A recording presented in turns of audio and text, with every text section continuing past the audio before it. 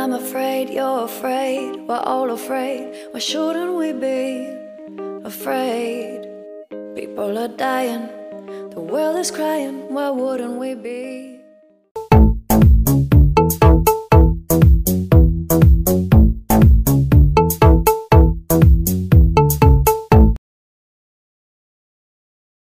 Vamos a empezar primero con el trompo. Esta vez pintaré mi porcelana con óleo. El tono que estoy usando es siena tostada. Le agrego un poco de blanco para quitar la transparencia y un poco de amarillo.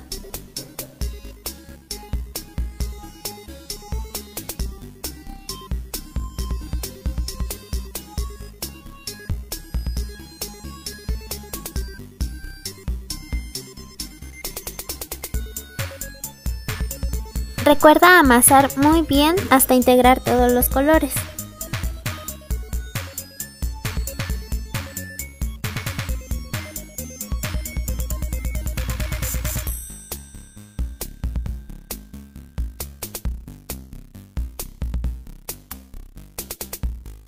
Voy a tomar una varita y le damos forma al trompo, así podemos darle forma más fácil. Con un cúter le damos varios cortes o marcas para formar las capas de carne.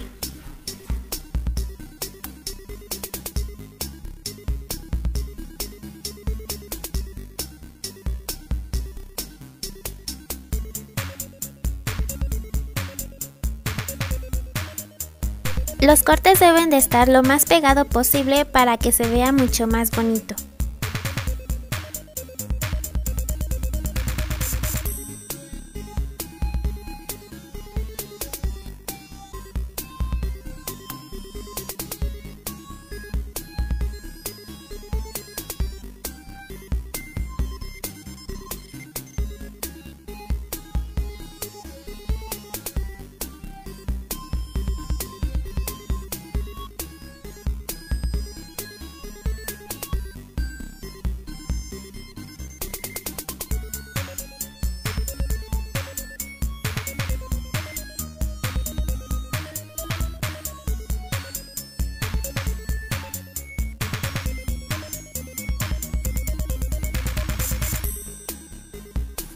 Ahora voy a tomar un poco de porcelana fría sin pintar para hacer nuestra cebollita y que no quede tan blanca. Así como lo ves en este trompo que te estoy enseñando. Hacemos una bolita. Untamos un poco de pegamento y la aplastamos solo un poco. No queremos que quede redonda, pero tampoco queremos que quede muy aplastada. Con ayuda de un cúter le haremos varias marcas alrededor de la cebolla y en el centro le picaremos con la punta del cúter.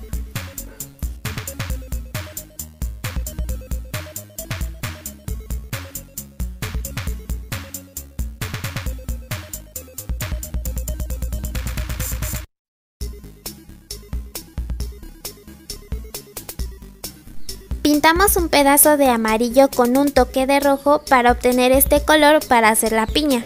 Amasamos muy bien y hacemos una bolita y la pegamos en la parte superior del trompo.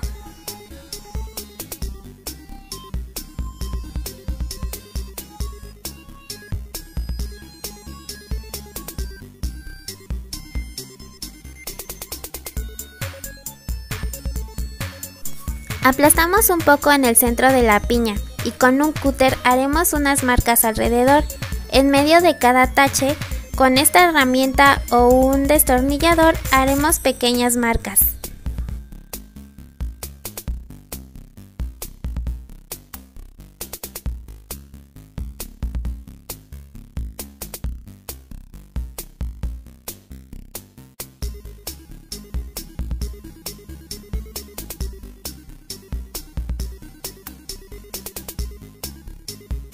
Para terminar nuestro trompo, daremos pequeños toques de negro para las partes quemaditas de la carne.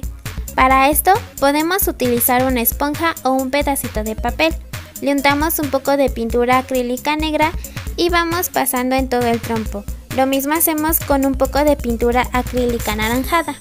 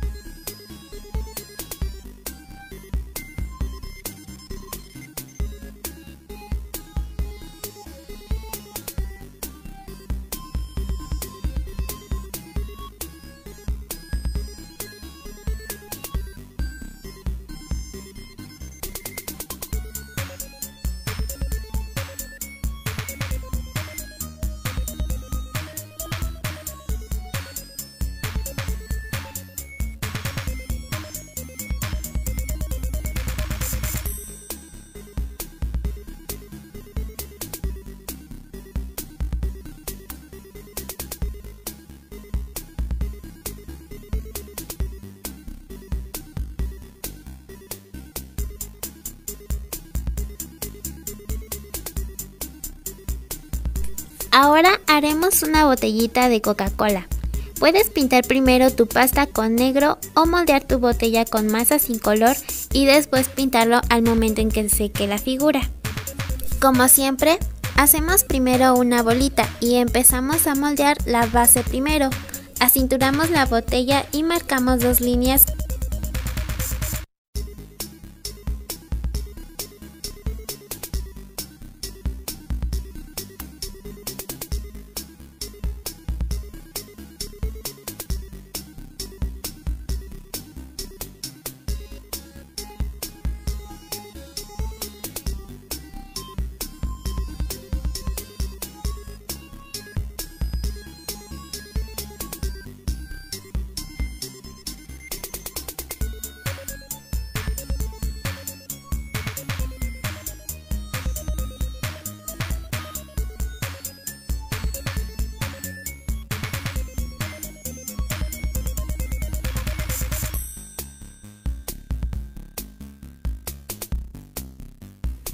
Al terminar, lo dejamos secar. Con porcelana roja moldeamos la tapa de la botella y marcamos varias líneas alrededor y cortamos los sobrantes.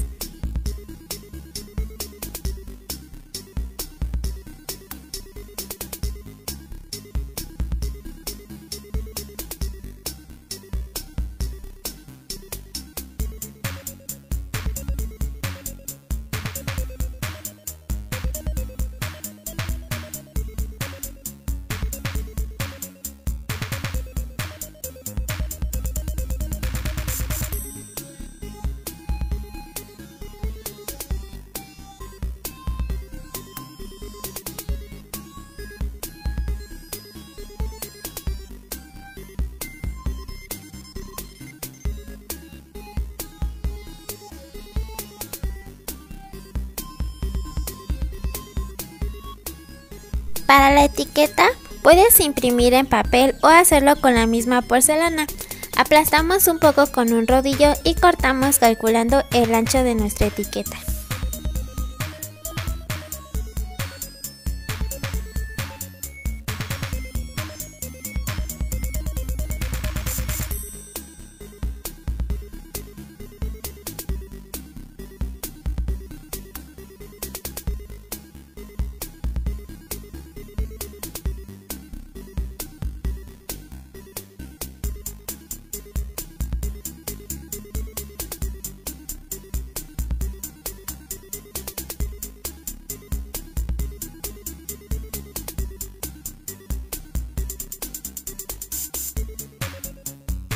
Ya cuando esté seco solo falta pintarle las letras y ponerle barniz.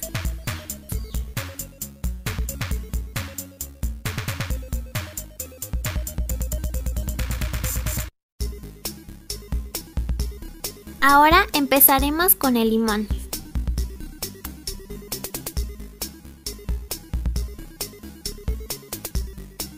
Vas a pintar tu masa con un poco de verde y un poco de amarillo. No le agregues blanco para que quede un poco transparente.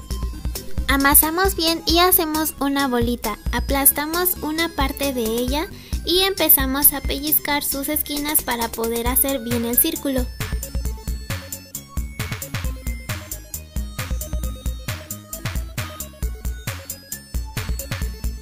Con un cepillo de cerdas duras vamos a darle la textura a la cáscara de nuestro limón.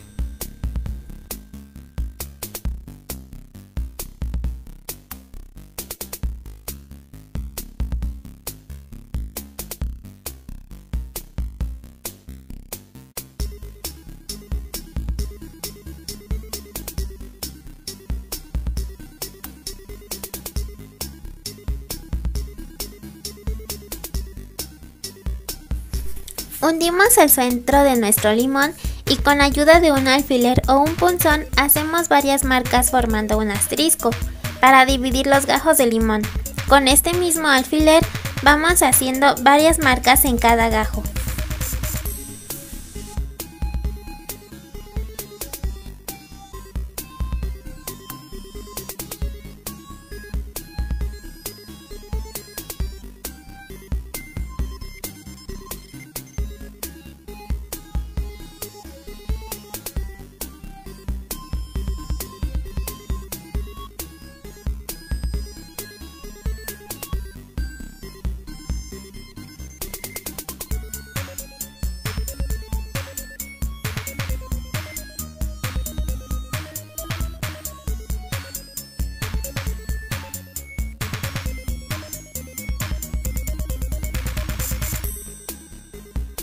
Con ayuda de una cucharita vamos marcando alrededor de todo el limón para dividir los gajos y la cáscara.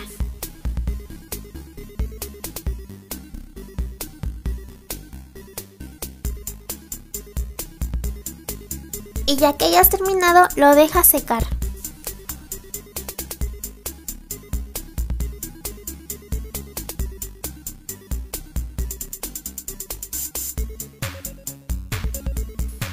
Con pintura acrílica verde vas a pintar todo lo que está poroso para la cáscara del limón.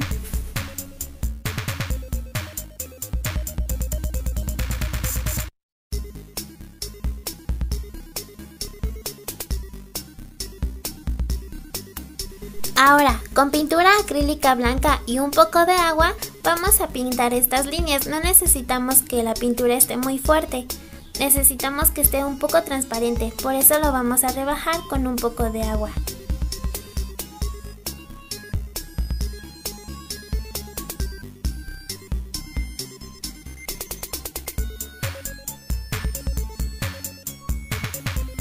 Y con mucho cuidado y con ayuda de un palillo de madera, vamos a pintar todo alrededor de nuestro limón y las divisiones de nuestros gajos.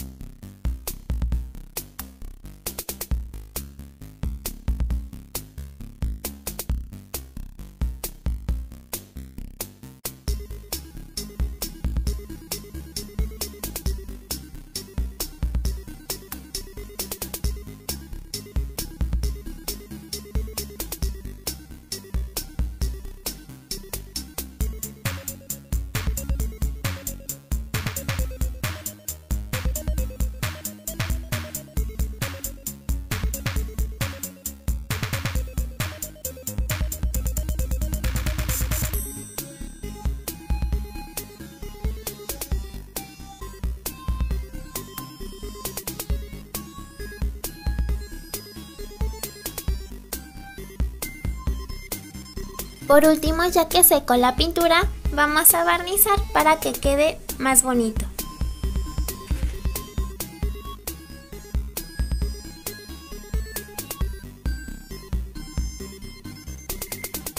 Ahora te voy a enseñar cómo hacer este platito. Recuerda que ya había hecho uno similar antes. Te voy a dejar en la descripción de la caja el link para que vayas a verlo, porque algunos pasos que ya repetí no los voy a dar aquí para que no se haga tan largo el video.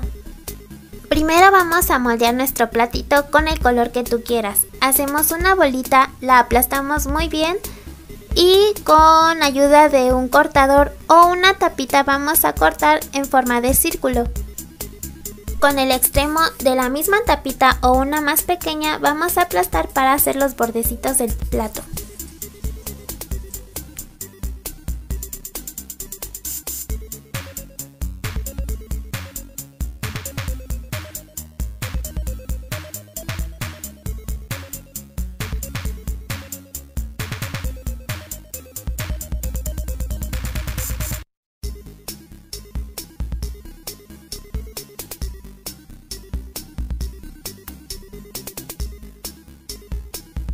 Pintamos nuestra masita con un poco de ocre y un poco de amarillo para la tortilla. Y le vamos agregando un poco de brillantina negra o vidrio molido.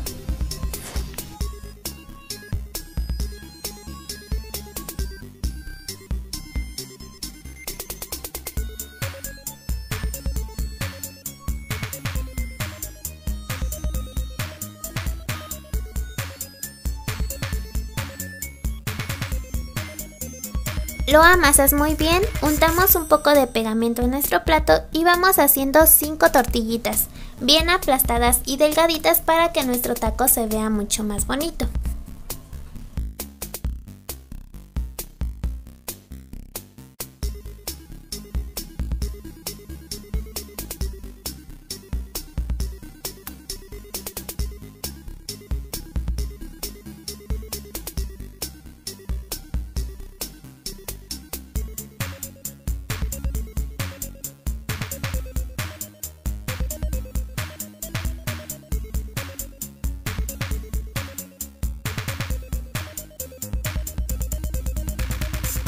Para la carne voy a utilizar el mismo color que utilicé en el trompo.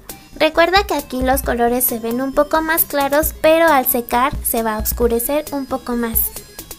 Vamos partiendo pequeños pedazos para que la carne se vea más picadita. Vamos a acomodarlos bien en el taco y con ayuda de un alfiler vamos haciendo pequeños remolinos.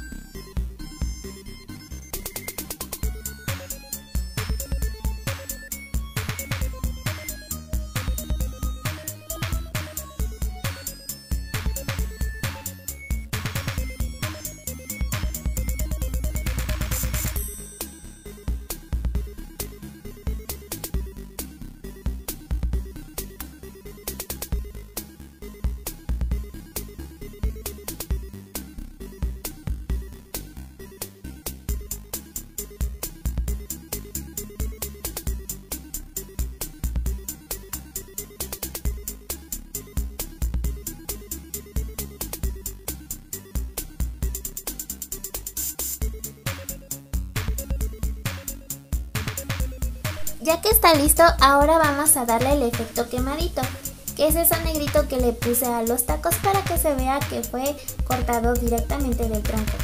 Con ayuda de un palito de madera, vamos a darle toquecitos con pintura acrílica negra.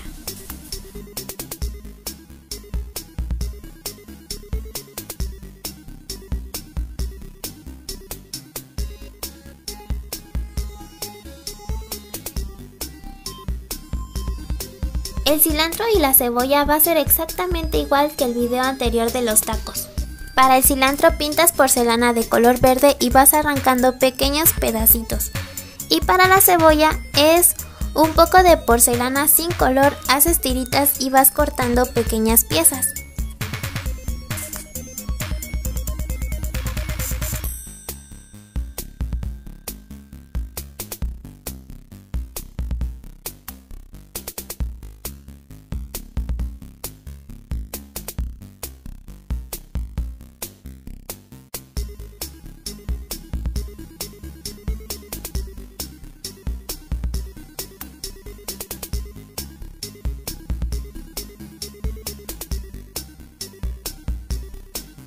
Los rábanos serán exactamente igual que en el video anterior. Es un tubito con un poquito de pintura blanca o sin color. Lo dejas secar, pintas la parte de afuera con pastel rosa o pastel rojo. Dejas secar y vas a ir cortando las rebanadas.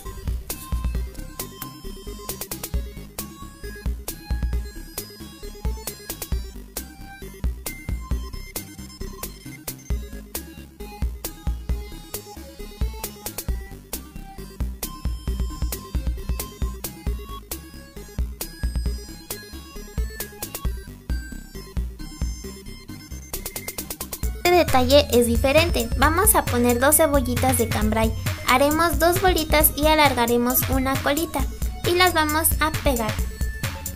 Con un cúter vamos a hacer pequeñas líneas a lo largo de la cebollita y en la parte de la cabecita vamos a picar para darle ese efecto de pelitos.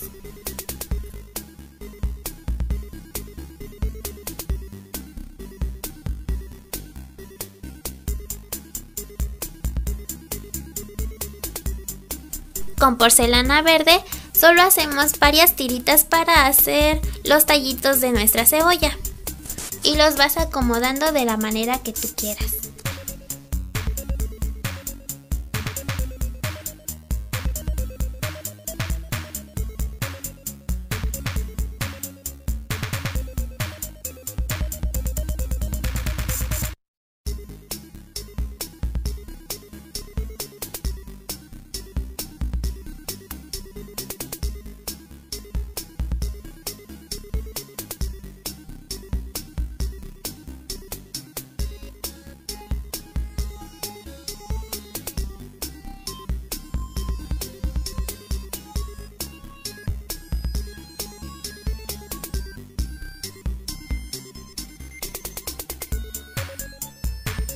Ya de secar o antes de secar, vas a darle pequeños toquecitos a las cebollitas en el centro de cada una para que se vea como si tuviera un poco quemadito.